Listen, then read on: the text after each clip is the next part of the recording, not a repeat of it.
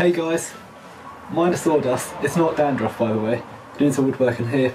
I got an experiment for you guys. So we're going to try, we're going to try carbon fibre with a 3D printed piece of plastic. So instead of using carbon fibre filament, which would have been a lot easier and probably save a lot of money, I decided to put a layer of real carbon fibre fabric on top of some plastic. Let's hope this works. I've of a few experiments and ways of doing it, which we're going to go through a video. Let's just have some fun. Let's key the surface of a PLA print.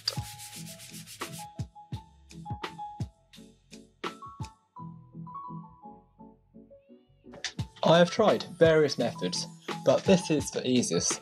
Just spray a little bit of contact adhesive on both sides. This method is so much more easier by sticking the carbon fibre on top of epoxy resin and leak.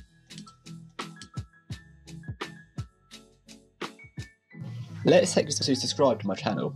I've been challenged to get 1000 subscribers by Conjecture by end of this year, so please subscribe, it's a massive help. It would have been so much easier and cleaner to pass off to do this process. You'll want to do three coats. Just allow an hour interview between every coat. Only do coats when it's tacky, not complete dry.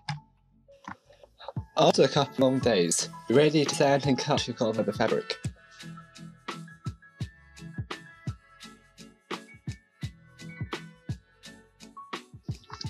I first started sanding with 320 Abranet and a 00 steel wool, which is the finest you can get.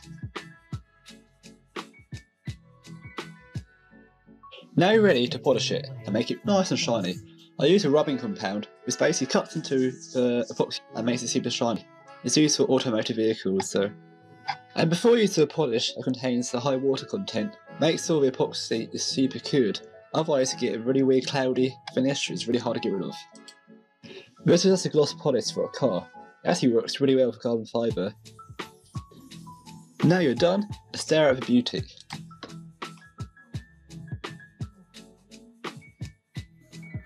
Mmm, shiny.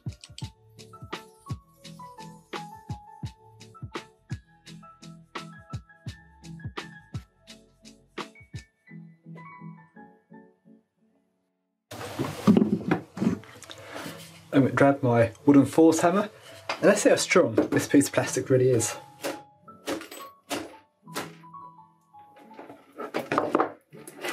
See look, the plastic broke, the carbon fibre is fine, so that's a battery. The battery will be fine probably. Duct tape, duct tape fixes everything. That's what we're going to do. So it tastes quite strong. And I'm doing it for many other things. Perhaps apply fiberglass. And perhaps do a 3D printed snowboard and then cover it in carbon fibre. That might work. That'd be awesome. So, I'm really pleased how the experiment turned out. As you can see, this part is amazing. It's like mirror polish, so glassy. And now I found a perfect way of turning something which will get beaten, battered by the elements, has dropped on curbs, just having it last long and protect my 18650 batteries because these will blow up, they like go boom. So I think this is really put my rest to mind and made me feel a lot more comfortable with my electric longboard. So hope you like this. I hope you're inspired to try experiments and try new things for 3D printing. So yeah, see see you guys soon.